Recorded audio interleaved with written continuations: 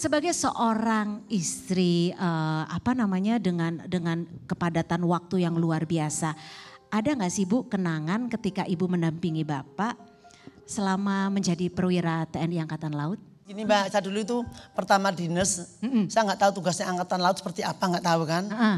Karena memang saya bukan di lingkungan TNI Angkatan Laut. Begitu menikah, suami langsung berangkat layar. Pernah di pengalaman ya, sejarahnya dinas ditwal saya ikut. Mm -mm. Ke mana pun suami pergi saya ikut. Mm -mm. Anak yang nomor satu, nomor dua, saya masih punya dua anak ikut ke Tual. Tual itu daerah Maluku Tenggara. Oke. Okay. Ikut pindah dinas ke Sekeluarga Medan. tuh ya? Ikut. Ikut semua? Ikut. Oke. Okay. Jadi suka dukanya saya rasakan. Dan anak-anak juga ikut anak-anak ikut. Oh senang Jadi saya ya. berharap pada ibu-ibu semuanya juga mm -hmm. di sini maupun yang lagi menonton. Saya selalu menyampaikan. Mm -hmm. Dampingi suami di mana pun bertugas. Tepuk tangan. Kalau ibu-ibu dari Jala Senasri pada dampingin suami kan ya Bu ya di mana pun bertugas?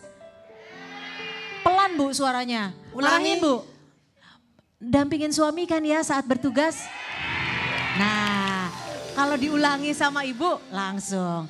Itu Terus, min, anu mbak, minimal apa? Akan meminimalisir uh, hal-hal yang tidak kita inginkan. Betul. Menjaga hubungan suami istri itu harmonis.